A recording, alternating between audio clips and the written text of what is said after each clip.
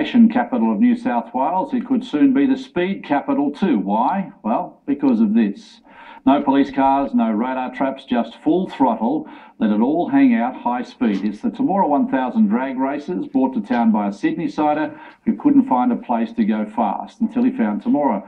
The fastest car here at the weekend went down the runway at 296 kilometres per hour. That car right there. That was a souped up Holden VL Commodore and it was 30k quicker than a Nissan GTR Skyline, which went about 266. Organiser Adam Drake loved the venue and he's already penciled in a return late next year. More on this from Sam Martin soon in tonight's local sport report. Pretty good pictures coming up. Coolerman for